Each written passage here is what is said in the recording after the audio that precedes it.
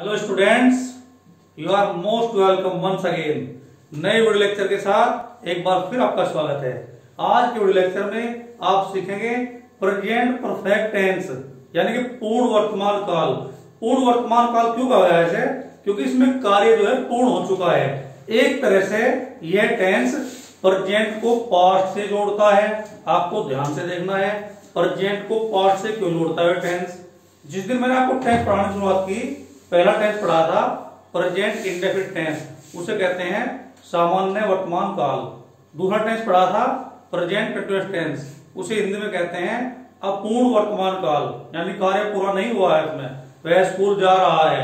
He is going to school जा रहा है? पहुँचा नहीं? वे खाना खा रहे हैं। दे आर ईटिंग फ़ूड इस तरह के सेंटेंस बताए थे। आज का जो टेंस है, उसका नाम है प्रेजेंट परफेक्ट टेंस पूर्ण वर्तमान काल। एक तरह से प्रेजेंट टेंस को पास्ट से जोड़ने वाला टेंस है। इसके सेंटेंस से आपको पता लग जाएगा, बहुत ही इजी टेंस है। इस टेंस की जब हम बात करते हैं तो इसके हिंदी वाक्यों में पाते हैं, चुका है, चुकी है, चुके हैं, लिया है, दिया है, गया है, खाया है, पिया है, देखा है, लिखा है, यानी कि लिखा है, आ है। आ की मात्रा और है पे वाक्य फिनिश होता है।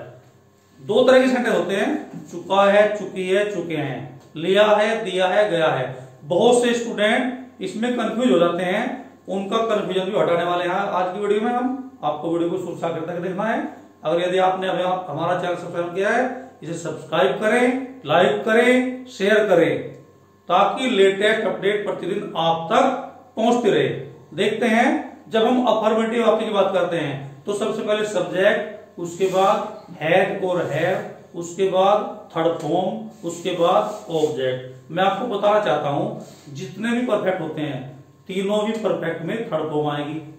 जितने भी कंटिन्यूस होते हैं, सभी में आईएनजी फॉर्म आती है।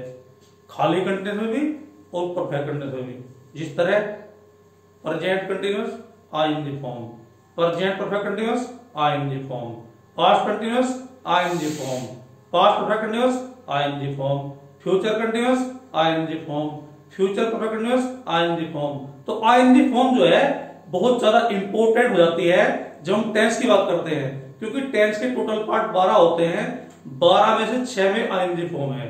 जितने भी कंटिन्यूस हैं, उनमें आईएनजी फॉर्म है। तीन परफेक्ट टेंस होते हैं, तीनों में थर्ड फॉर्म है। परफेक्ट में तीनों में थर्ड फॉर्म है। आज हम बात कर रहे हैं प्रेजेंट परफेक्ट टेंस की। इसमें सब्जेक्ट प्लस हैज़ और have plus third form plus object जब हम अफर्मेटिव वाक्य की बात करते हैं सब्जेक्ट प्लस हैज़ और have plus third form plus object affirmative वाक्य में निगेटिव में क्या करना है? हैज़ और हैव के तुरंत बाद नोट लगा देना है। इंट्रोगेटिव में क्या करना है? जो टेंस की हेल्पिंग वर्ब है, उसे सबसे पहले लेते हैं, क्या के लिए? मैंने तुम्हें पहले बताया था, पहले वीडियो लेक्चर में आपको बताया था क्या के लिए वाट कभी ना लगाना बहुत बड़ी गलती हो जाएगी? क्या के लिए आपको सबसे पहले क्या करना है? इंट्रोगेटिव स्थायी हैड और है शुरू में ले लेंगे। मान ले सेंटेंस है क्या वह स्कूल में ही जा चुका है? क्योंकि वह सिंगुलर नंबर है। तो सिंगुलर नंबर का एक वचन साथ आएगा हैज़ और I we you they number साथ आएगा हैव ये बात आपके मन में आप, आपको बिठा लेनी है। सिंगुलर नंबर साथ हैज़ नंबर साथ हैव यदि इस तरह टेंस पढ़ोगे तो कभी टेंस नहीं भूलोगे। टेंस की हेल्पिंग याद रखिए और मेन वर्ब याद रखिए और उसकी पहचान याद रखिए। नो प्रॉब्लम फिर टेंस सीखने में कोई दिक्कत नहीं होगी। लिख के देता हूँ, आप टेंस एक एक टेंस को बिल्कुल पक्का सीख जाओगे। अगर सो रहे हो ना, सोते हुए बता बता दोगे, किसी ने पूछा है, वह स्कूल जा चुका है तो सोते सोते बोलोगे he has gone to school यानी कि आपको सबसे पहले पहचान याद रखनी है। उसके बाद उसकी हेल्पिंग वर्ब और मेन वर्ब उसके बाद टेंस में कुछ नहीं है। टेंस इज़ वेरी इजी इसके बाद टेंस बिल्कुल आसान हो जाता है। तो मैं तुम्हें कह रहा था सब्जेक्ट प्लस हैज़ और have plus third form plus object ये तो हो गया अफर्मेटिव निगेटिव में सब्जेक्ट प्लस हैज़ और have plus not plus third form plus object interrogative first type has और हैव शुरू में plus subject plus not plus third form plus object interrogative second type question word यानी कि W S family सबसे पहला जाता है। उसके बाद हैज़ और हैव उसके बाद नोट उसके बाद थर्ड फॉर्म उसके बाद ऑब्जेक्ट और इसे मत भूलना। क्वेश्चन मार्क लगाना मत भूलना। इंटरनेटिव वाक्य में क्वेश्चन मार्क लगता है और अफर्मेटिव और नेगेटिव में फुल स्टॉप लगता है। अब वीडियो शुरू करते हैं टेस्ट शुरू करते हैं। पहला वाक्य देखते हैं। देखिए वह आया है। ही हैज़ कम स्टूडेंट का कंफ्यूजन क्या होता है? अगर इसमें आ गया, वह आ चुका है तो हो गए कंफ्यूज बात एक ही तो है, वह आया है ही हैज़ कम वह आ चुका है ही हैज़ कम हम खाना खा चुके हैं वी हैव इटन फ़ूड हमने खाना खा लिया है वी हैव इटन फ़ूड वे स्कूल चले गए हैं they have gone to school या वे स्कूल जा चुके हैं they have gone to school बात एक ही है चाहे चुका है, चुकी है, चुके हैं, चाहे लिया है, दिया है, गया है, खाया है, पिया है, बात एक ही है। तो दूसरे सेंटेंस को आते हैं। दूसरे सेंटेंस है, वे आ गए हैं। They have come. They subject और क्योंकि दे प्रोनाउन नंबर है, इसलिए हैव कम। एक बार लिख लो इस बात को। एक बार माइंड में सेट कर लो। ही सी इट या किसी नाम के साथ। इन्हें कहते हैं सिंगुलर नंबर हेल्प हैज़ लगाते हैं। आई वी यू दे इन्हें कहते हैं प्रो नंबर हेल्प हम हैव लगाते हैं। इसके बाद थर्ड फॉर्म ठोकते हैं। हैज़ के बाद थर्ड फॉर्म ठोक दीजिए। उसके बाद ऑब्जेक्ट देखिए, मैं आ चुका हूँ। आई हैव बाथ ये तो तीन सेंटेंस है पहले। इनमें ऑब्जेक्ट नहीं है। इनमें केवल वर्ब और वर्ब सॉरी सब्जेक्ट है और वर्ब है। अब देखते हैं ऑब्जेक्ट वाला सेंटेंस तुमने खाना खा लिया है। तुम यू पूरा नंबर है। You have eaten food subject plus have plus third form plus object very easy बहुत ही आसान। हमने उसे नहीं बुलाया है। We have not called him we plural number है, इसलिए हैव आएगा। हैव का प्रयोग करेंगे।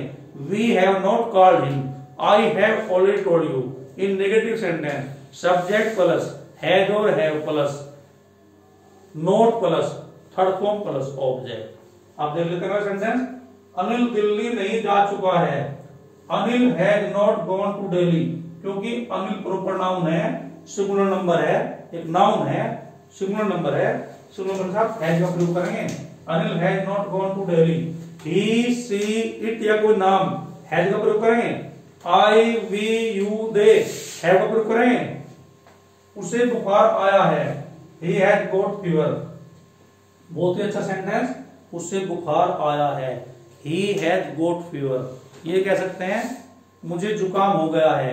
I have got cold I have got cold इस तरह से।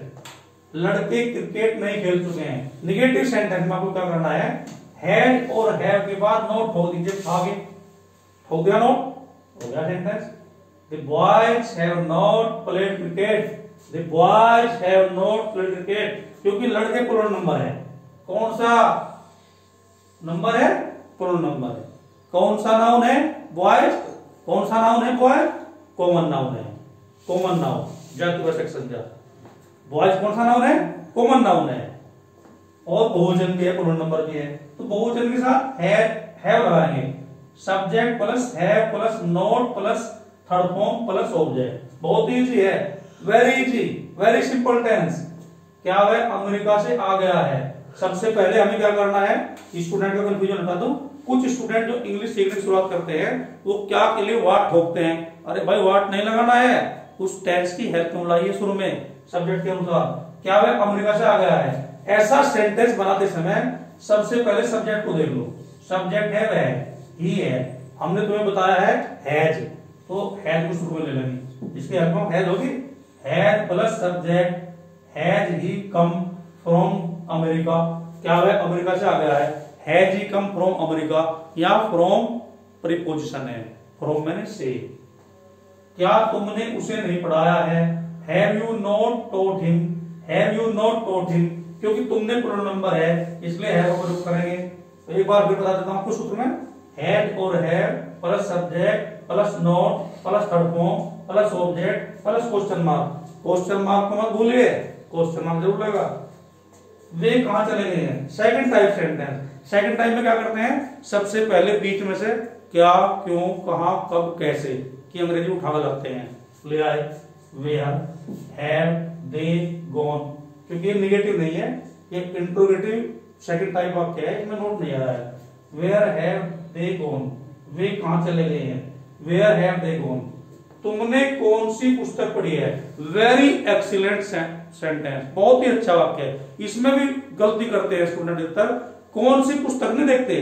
कौन सी देखते हैं? अरे भाई, कौन सी पुस्तक पूरा का पूरा क्वेश्चन वर्ड है कौन सी पुस्तक? विच बुक विच बुक कौन सी पुस्तक? Which book have you read have you read वह स्कूल क्यों नहीं जा चुका है? Why has you not gone to school सबसे पहले क्वेश्चन वर्ड उसके बाद हैज़ और है उसके बाद नोट उसके बाद थर्ड फॉर्म उसके बाद ऑब्जेक्ट उसके बाद क्वेश्चन मार्क तो ये था आज का टेंस प्रेजेंट परफेक्ट टेंस पूर्ण वर्तमान काल, जो टेंस प्रेजेंट को पार्ट से जोड़ता है, एक तरह से देखने से लगता है कि वह आ चुका है ही हैज़ कम काम तो पूरा हो लिया तो जो काम पूरा हो चुका है वो तो पास्ट में जाना चाहिए, लेकिन प्रेजेंट में है, इसकी सेंस जो है आ गया है। है है आया है ना? तो है के लिए प्रेजेंट में रखा गया है। ये टेंस एक तरह से प्रेजेंट को पास्ट से जोड़ता है। इसमें थोड़ा सा सेंस जो है पास्ट की भी है, क्योंकि एक्शन हो चुका है। और जो एक्शन हो चुका है, वो पास्ट होता है। लेकिन इसकी पहचान के कारण चुका है, चुकी है, चुके हैं, लिया है, दिया है, गया है, इसे प्रेजेंट परफेक्ट कहा जाता है। पूर्ण वर्तमान काल कहा जाता है। That's all for the day have a good day